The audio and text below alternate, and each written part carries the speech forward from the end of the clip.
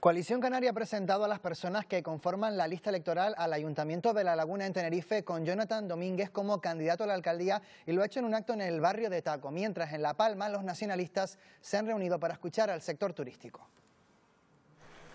Coalición Canaria ha presentado en el barrio de Taco a las personas que acompañarán al candidato a la alcaldía de La Laguna, Jonathan Domínguez, en su lista electoral. El candidato a la alcaldía de La Laguna se ha comprometido a rehabilitar viviendas, parques, instalaciones deportivas y además a crear consejos de zona en cada barrio.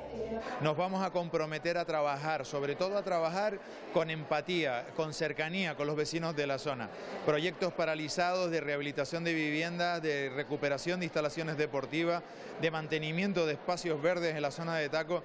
El abandono ha sido exagerado durante este mandato y nos comprometemos a trabajar duro con ellos. Aseguran que si vuelven a gobernar, una de sus prioridades será la inversión y mejora de los barrios. Y nosotros sabemos que eso se puede cambiar y por eso le decimos a la gente que no se resigne, que vaya a votar el 28 de mayo para cambiar otra vez la laguna y sobre todo para que los barrios sean la prioridad del ayuntamiento y de su futuro alcalde Jonathan Domínguez.